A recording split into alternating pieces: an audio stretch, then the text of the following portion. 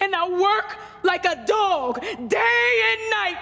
Halo, saya Abisa Putra. Neil Armstrong boleh menjadi orang pertama yang mendarat ke bulan. Tapi tahukah kalian ada sosok-sosok di NASA yang ikut berpengaruh dalam kesuksesan Amerika dalam misi keluar angkasa dan mereka akan saya ceritakan dalam alur cerita film yang berjudul Hidden Figures.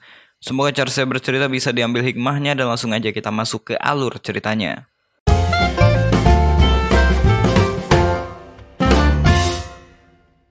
Kita mulai ceritanya di tahun 1940-an, di mana ada seorang anak kecil bernama Catherine yang kecerdasannya di atas rata-rata anak kebanyakan. Di usianya yang masih kecil, dia bahkan bisa mengerjakan soal persamaan untuk anak SMA. Karena kejeniusannya, kepala sekolah menyuruh orang tuanya memindahkan Catherine ke sebuah institut. Padahal Catherine baru aja kelas 6 SD. Orang tuanya juga bangga ketika Catherine akan diberikan beasiswa penuh hingga lulus. Catherine akan diajari oleh guru khusus nantinya. Kemudian dari tahun 1940-an kita lompat ke 1961, di mana Catherine udah tumbuh dewasa. Siang itu dia bersama kedua temannya, Mary dan Dorothy, berniat akan pergi ke NASA untuk bekerja di sana. Di tahun 61, Amerika dan Rusia tengah bersaing untuk menjadi negara pertama yang menjelajahi ruang angkasa. Ketika itu Rusia udah berhasil meluncurkan roketnya dan membuat satelitnya mengudara di orbit. Amerika ketinggalan. Mereka memang punya divisi luar angkasa seperti NASA, tapi belum bisa membuahkan hasil. Seorang menteri yang bernama Jim ini pun marah ketika mendengarkan Rusia berhasil meluncurkan Sputnik di orbit. Selain divisi yang dia pimpin belum menghasilkan kemajuan, presiden pada waktu itu juga menekannya. Harrison, seorang bertanggung jawab dalam program ini, langsung konsolidasi dengan timnya. Dia membutuhkan mesin baru dan juga seseorang yang ahli dalam matematika. Harrison ingin kerja dengan cepat sebelum Rusia berhasil menancapkan benderanya di bulan. Sementara itu di Computing Group, Dorothy membagikan job description kepada para wanita di sana. Mary kebagian kerjaan untuk menguji sebuah prototipe dan dia pun senang banget menerimanya. Setelah itu seorang perempuan bernama Michelle pun datang. Dia mengatakan gugus tugas luar angkasa butuh ahli matematika secepatnya dan Dorothy merekomendasikan Catherine untuk tugas itu. Pada waktu itu bisa dibilang rasisme di Amerika masih tinggi. Contohnya wanita kulit hitam dipekerjakan dan dikelompokkan dalam satu ruangan. Bahkan ketika Dorothy bertanya tentang permohonannya untuk dijadikan supervisor secara resmi, Michelle mengatakan bahwa keputusannya adalah tidak ada posisi supervisor untuk orang kulit hitam. Padahal sudah setahun Dorothy melakukan pekerjaan supervisor menggantikan orang kulit putih yang sakit.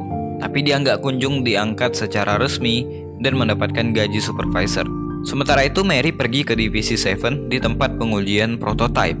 Ketika percobaan dilakukan, mereka kembali gagal. Prototipe roket nggak akan bertahan di luar angkasa.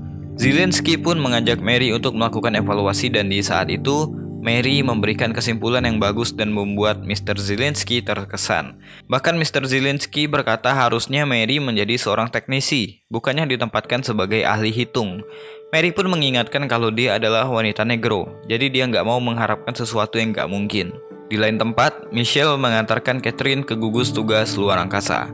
Menurut Michelle, Harrison udah mengganti belasan orang ahli matematika karena mereka nggak tahan kerja dengan Harrison. Michelle pun mengingatkan bahwa nggak ada orang kulit hitam sebelumnya yang kerja di gugus tugas itu. Jadi dia meminta Catherine nggak membuat dirinya malu. Kemudian masuklah Catherine di tengah puluhan pria kulit putih. Semua mata tertuju padanya. Asisten Harrison berkata jangan harap dia akan disambut ramah di sini.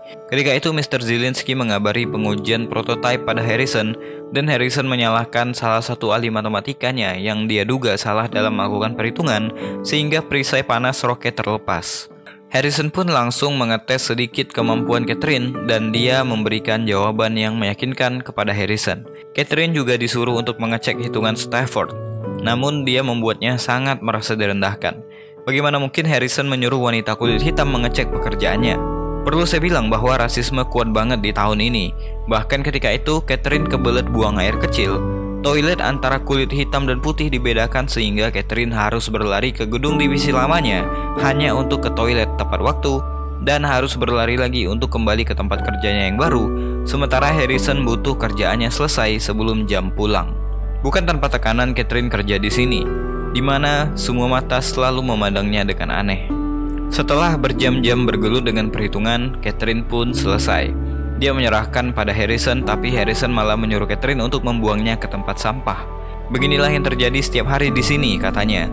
Semuanya harus serba cepat karena kita perlu orang yang harus melihat sesuatu lebih dari angka, karena kita perlu menjawab pertanyaan yang bahkan bingung untuk ditanyakan, kata Harrison. Karena tanpa itu, kita nggak akan pernah mengirim orang terbang ke luar angkasa.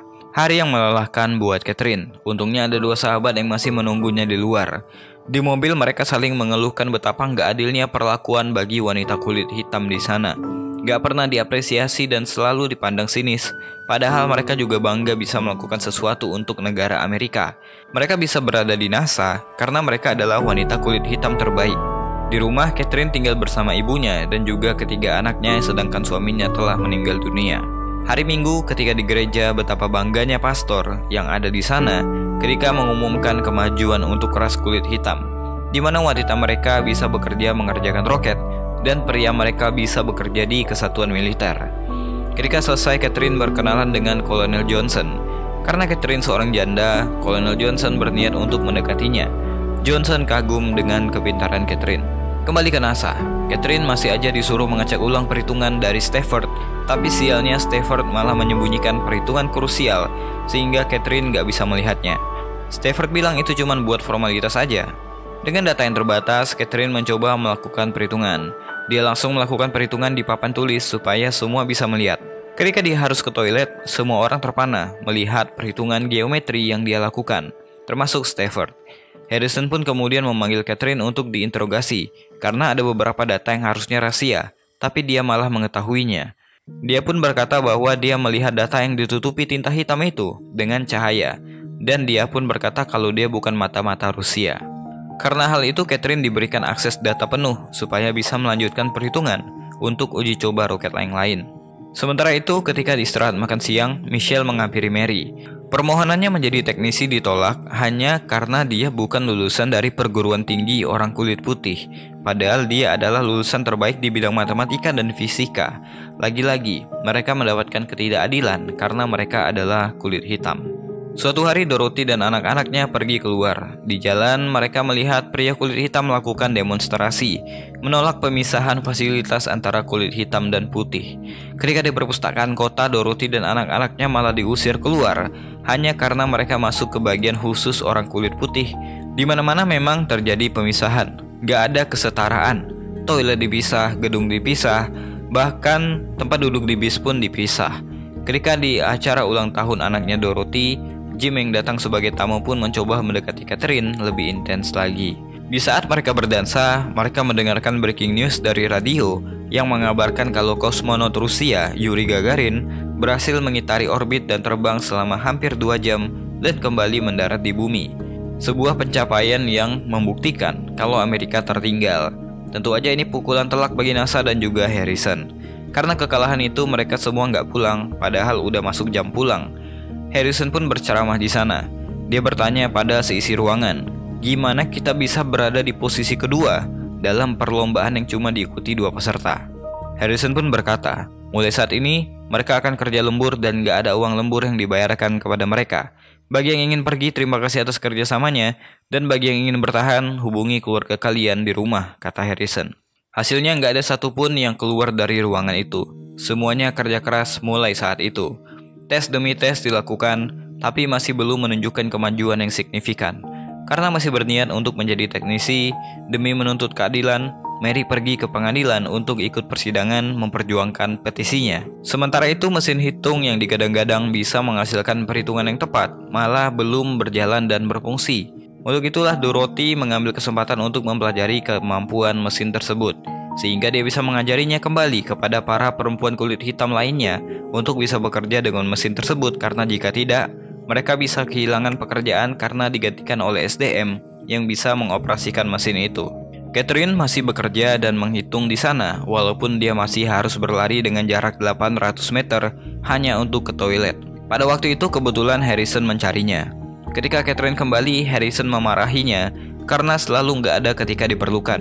Ibarat gunung yang siap meletus, Catherine pun memuntahkan semuanya. There are no colored bathrooms in this building. I have to walk to Timbuktu just to relieve myself. And I work like a dog day and night.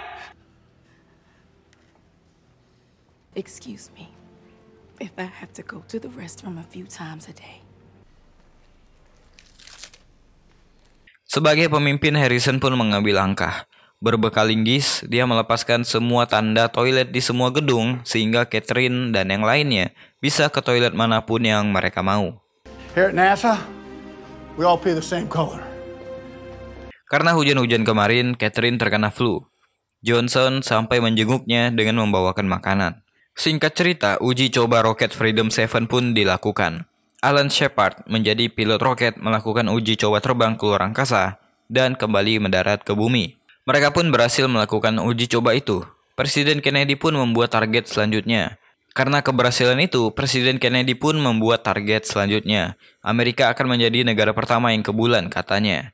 Tinggal dua uji coba lagi sebelum mereka menerbangkan astronot ke bulan. Begitulah kira-kira. Mary akhirnya mendapatkan jadwal sidang. Dia berhasil meyakinkan Yang Mulia Hakim supaya dia bisa diizinkan untuk bersekolah di kampus khusus kulit putih. No Negro woman in the state of Virginia has ever attended an all-white high school. I plan on being an engineer at NASA, and I can't change the color of my skin. So I have no choice but to be the first. Hakim pun mengizinkan Mary untuk mengikuti kelas malam di kampus tersebut. Mary pun senang bukan main. Di gugus tugas luar angkasa, Stafford masih memimpin perhitungan untuk roket Redstone, roket yang akan diluncurkan selanjutnya. Mereka membahas perhitungan yang akan mereka kerjakan sambil menunggu hasil rapat Pentagon tentang titik penjemputan. Catherine memohon pada Stafford untuk ikut serta dalam rapat tertutup tersebut. Tapi bisa ditebak Stafford menolak permohonan itu. Alasannya, tentu aja karena nggak ada wanita kulit hitam yang diperbolehkan masuk. Jadi Catherine pun mengerjakan perhitungan di ruangannya. Ternyata setelah rapat, perhitungan itu nggak ada gunanya karena mereka mengubah jenis jendelanya yang akan membuat semua perhitungan berubah. Catherine merasa semuanya akan membuang waktu kalau dirinya nggak diikut sertakan dalam rapat. Tapi lagi-lagi Stafford menolak dan menyuruh Catherine menghitung ulang. Setelah lembur menghitung itu semua, besoknya dia serahkan kepada Stafford. Kembali lagi mereka bertengkar mengenai masalah rapat. Harrison pun menegur mereka Catherine langsung meyakinkan agar dia harus diikutsertakan dalam rapat, karena semua data berganti dengan cepat sehingga dia pikir itu membuang waktu kalau dia nggak ikut di sana. Akhirnya Harrison pun membolehkan Catherine ikut bersama mereka. Harrison memperlakukan Catherine tidak secara rasis, bahkan dia menyuruh orang mengambilkan kursi untuk Catherine. Mereka masih membahas tentang di mana titik penyebutannya berdasarkan pendaratan roket nantinya. Harrison pun secara langsung menyuruh Catherine melakukan perhitungan di sana. Secara luar biasa, Catherine menghitung tanpa kalkulator, menghitung digit yang banyak dengan sangat cepat dan akurat. Harrison sampai kagum dengan anak buahnya, dan baru sadar Catherine adalah orang yang jenius. Dari perhitungan Catherine, mereka akhirnya dapat titik pendaratan roket. Sementara itu, di ruang mesin IBM, Dorothy mencoba menjalankan mesin itu berdasarkan panduan yang dia pelajari. Di saat yang sama, petugas masuk berniat untuk memarahi Dorothy. Tapi mereka juga kaget, karena Dorothy, mesin mereka bisa berjalan. Di hari lain, Harrison datang mengecek ruangan itu dan bertanya, kenapa mesin itu belum berfungsi juga. Dengan alasan butuh tambahan orang, Harrison akhirnya menyuruh mereka langsung mencari orang itu. Bisa ditebak, Dorothy akhirnya mendapatkan promosi untuk membantu di ruangan mesin IBM. Manusia nggak bisa menghitung dengan cepat dalam waktu yang sedikit, kata Michelle. Dorothy pun memikirkan nasib teman-temannya. Bagaimana nasib mereka setelah peluncuran roket? Michelle berkata, setelah peluncuran, NASA akan memberhentikan grup komputasinya Dorothy. Mendengarkan hal itu, Dorothy menolak, kecuali semua rekan-rekannya ikut dia ke ruangan IBM. Well, karena Dorothy, mereka semua pun pindah, meninggalkan ruangan lama mereka untuk kemudian bergabung dan berkontribusi di ruangan IBM. Divisi tugas luar angkasa punya PR penting. Mereka harus mencari perhitungan untuk mengeluarkan roket dari orbit sehingga tidak lari dari gravitasi bumi dan terlalu cepat masuk ke gravitasi yang bisa mengakibatkan roket meledak. Catherine kemudian menyadari mungkin mereka nggak butuh matematika baru.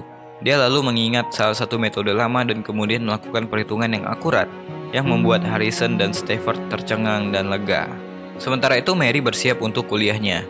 Dia menjadi satu-satunya perempuan bahkan berkulit hitam yang kuliah di kampus orang kulit putih. Ketika kembali ke rumah, Catherine dilamar oleh Johnson dan dia dan anak-anaknya pun menerima Johnson. Malam itu dia bahagia bukan main, tapi beberapa hari kemudian di kantornya, ketika mesin IBM berjalan mengolah data lebih cepat dari yang manusia dapat lakukan, Catherine dipanggil oleh Harrison. Dia berkata bahwa mereka sudah tidak membutuhkan lagi ahli matematika di departemen ini, sehingga Catherine akan dikembalikan ke divisi lamanya bersama Dorothy. Semua ini di luar kendalinya, kata Harrison. Sebagai hadiah perpisahan, Ruth memberikan hadiah pertunangan berupa kalung mutiara. Setelah itu Catherine meninggalkan ruangan itu. Tanpa terima kasih, tanpa apresiasi, tanpa ucapan selamat tinggal, Catherine pergi meninggalkan ruangan. Padahal kontribusinya dalam perhitungan sangatlah berarti. Untuk melupakan hal itu, dia pun fokus dengan pernikahannya bersama Johnson. Singkat cerita, peluncuran roket yang dipiloti oleh John Glenn pun dimulai. Semuanya antusias menantikan peluncuran ini, tapi di ruangan monitor, Harrison malah cemas karena ketika mengecek hasil perhitungan IBM, Titik koordinat pendaratan nggak sama dengan yang kemarin. Harrison pun menelpon John Glenn sang pilot. John juga cemas dengan kabar itu. Jadi dia menyuruh Catherine mengecek angkanya. Jika Catherine berkata aman, maka John mau terbang. John tahu Catherine sangatlah pintar dalam menghitung ketika rapat kemarin. Jadi salah satu kru berlari membawa berkas untuk Catherine hitung. Ini adalah hari bersejarah untuk Amerika. Setelah beberapa bulan NASA melakukan banyak tes roket tanpa awak yang gagal, dan 10 peluncuran yang ditunda, ini adalah kali pertamanya peluncuran roket ke orbit dilakukan dengan pilot di dalamnya. Setelah bertahun-tahun menanti, berbulan-bulan penundaan, akhirnya Kolonel Glenn siap terbang. John Glenn tetap bersiap sambil menunggu perhitungan dari Catherine. Setelah perhitungan selesai, mereka segera bergegas pergi ke ruangan monitor. Berharap masih sempat mengejar waktu. Again, tanpa basa-basi, tanpa terima kasih, wanita kulit hitam ini ditutupkan pintu dari luar. Tapi Harrison kemudian memanggil Catherine untuk masuk dan ikut memantau. Koordinat yang dihitung Catherine ternyata cocok dan peluncuran pun dilakukan. John Glenn dengan roketnya akhirnya terbang mengitari orbit.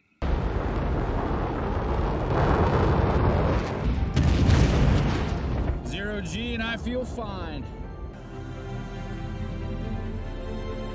Sementara itu di ruangannya, Michelle menemui Dorothy, memberikan sebuah tugas baru untuknya, Akhirnya Dorothy resmi menjadi supervisor di ruangan mesin IBM.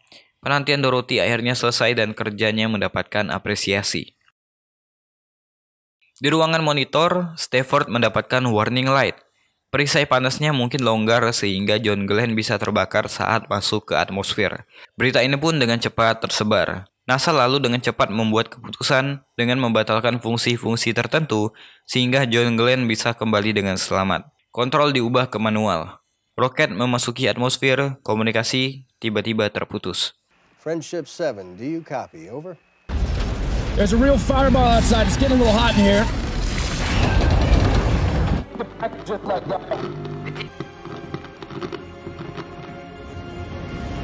Friendship 7, do you copy? Over. Loud and clear, Capcom. Akhir yang melegakan, John Glenn kembali ke bumi dengan selamat. Perhitungan koordinat pendaratan pun akurat, dan roket berhasil mendarat di perairan Bahamas. Sebuah orang bersyukur karena hal itu, Catherine akhirnya mendapatkan apresiasi dari Harrison. John Glenn sukses mendarat dan menyelesaikan tiga dari tujuh putaran orbit yang dijadwalkan. Misi John Glenn adalah model besar buat Amerika, sehingga misi penerbangan ke bulan di tahun 69 pun berhasil dilakukan. Mary Jackson akhirnya menjadi teknisi NASA sekaligus perempuan kulit hitam pertama yang menjadi teknisi. Sedangkan Dorothy menjadi supervisor wanita kulit hitam pertama pengolah data IBM di NASA. Dan Catherine kembali dipercayakan menjadi ahli hitung untuk misi Apollo 11 ke bulan dan di tahun 2016 NASA mendedikasikan nama Catherine G. Johnson sebagai nama bangunan di NASA sebagai bentuk penghormatan. Mungkin itu aja buat video kali ini. Kalau suka silahkan di like dan di share. Saya Besa Putra. To be continue. Tetaplah berkontribusi demi kesuksesan bersama. Gak peduli apa pun perbedaan yang kita punya. Dan jangan bosan jadi orang baik.